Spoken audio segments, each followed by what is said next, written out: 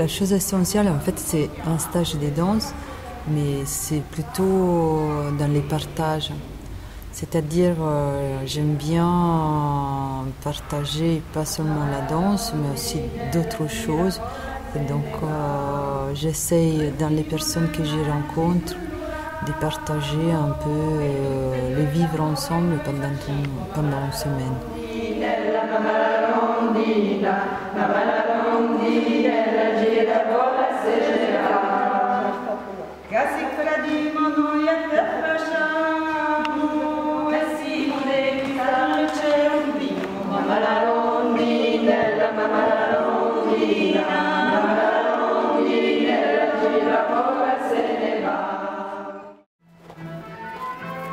Ça m'intrigue en fait euh, mettre ensemble les gens, les observer pour me rendre compte, euh, voilà, qu'est-ce que, l'être humain y arrive à faire ensemble.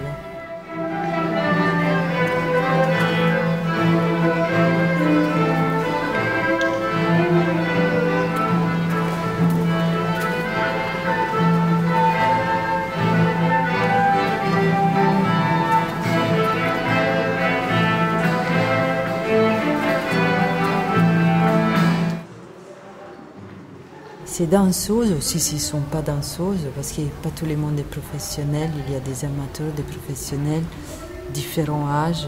Donc euh, voilà, il y a toute cette histoire des femmes, pour la somme des femmes, je n'ai pas des hommes, mais toutes ces femmes qui se rencontrent, qui se soutiennent, qui s'accompagnent, qui sont voilà, les âges différents, des corps différents, et qui en effet ils se mettent un peu à nu et qui puis euh, ils partent d'ici et qui sont devenus des copines. Et ça, je me dis, c'est voilà, c'est une belle rencontre, c'est la chose plus belle.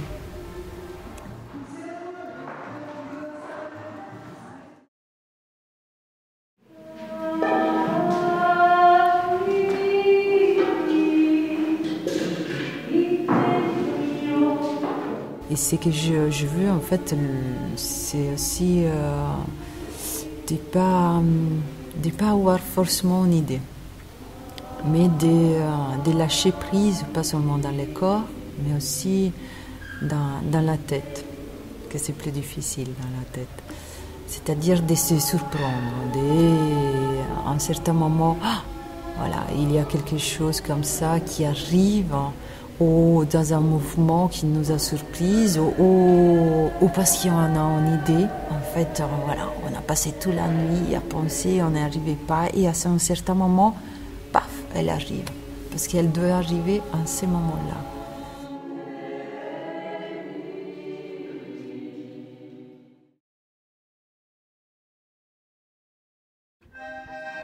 Les chants, en effet, je l'ai voulu. Euh, je, me disais, c'est voilà, c'est 1914, je voulais pas d'électricité, donc je voulais pas les aider, je voulais pas la modernité, je voulais vraiment retourner un peu à l'arrière. Et, donc je cherchais des gramophones, j'ai cherché euh, des, choses d'époque, des objets d'époque. Et puis je me suis dit avec les voix, voilà, qui, qui portent aussi, qui accompagnent la danse.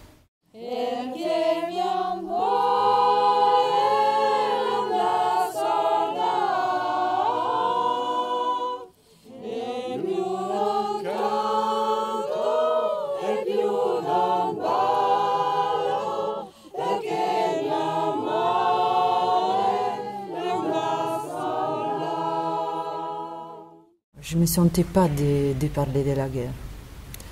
Euh, je ne connais pas, en plus moi je suis italienne, la guerre en France ça a été différent, euh, mais j'étais intéressée à la guerre par rapport à la petite histoire dans la grande histoire. Donc euh, tous ces lettres, toute la séparation entre une femme et un homme, ou entre une mère un enfant et son fils.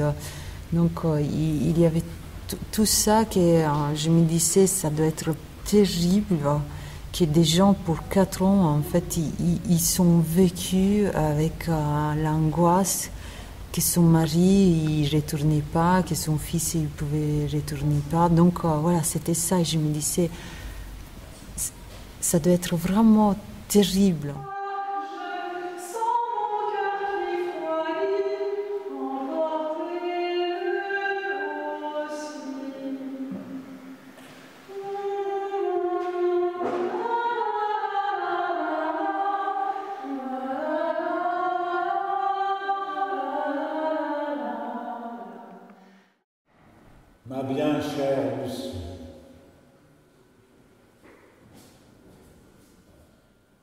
Quand cette lettre te parviendra,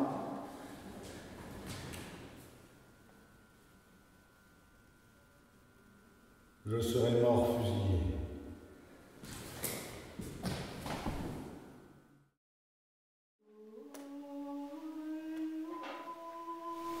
Je te remercie pour les quelques années de bonheur que tu m'as donné depuis notre mariage, hélas trop court. Et je te prie d'avoir du courage, beaucoup de courage, pour élever nos petits chérubins, en leur inspirant l'honnêteté et la loyauté, en leur donnant l'exemple par toi-même. Et je suis sûr qu'il ne te manquera pas de courage. Promets-moi aussi, ma douce Léonie, lorsque le temps aura lissé ta douleur, de ne pas renoncer à être heureuse, de continuer à sourire à la vie. Ma mort sera ainsi moins cruelle. Je vous souhaite à toutes les deux Les petites femmes, tout le bonheur que vous méritez et que je ne pourrai vous donner. Je vous embrasse, le cœur au bord des larmes, vos merveilleux visages gravés dans ma mémoire. Seront mon dernier réconfort avant la fin. Eugène, ton mari qui t'aime tant.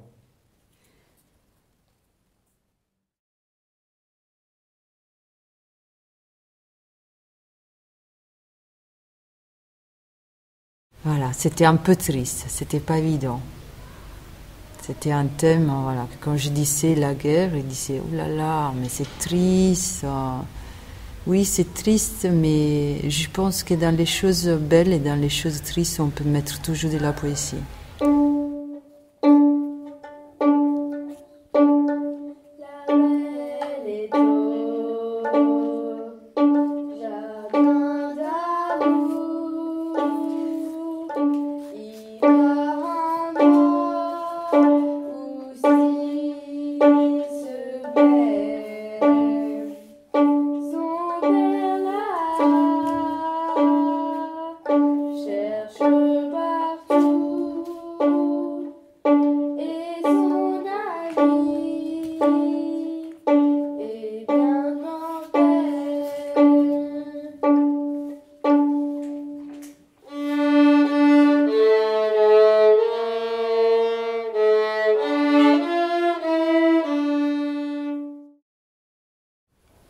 Mes chers petits, du champ de dévastation où nous sommes, je vous envoie ce bout de papier avec quelques lignes que vous ne pouvez encore comprendre.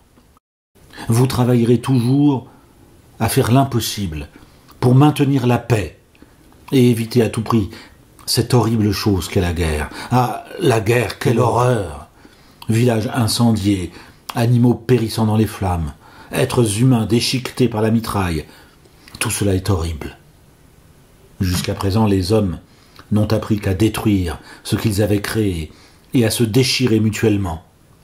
Travaillez, vous, mes enfants, avec acharnement, à créer la prospérité et la fraternité de l'univers. Je compte sur vous et vous dis au revoir, probablement sans tarder. Votre père, qui du front de bataille vous embrasse avec effusion. Martin Vaillagou, soldat au 131e territorial, 5e compagnie.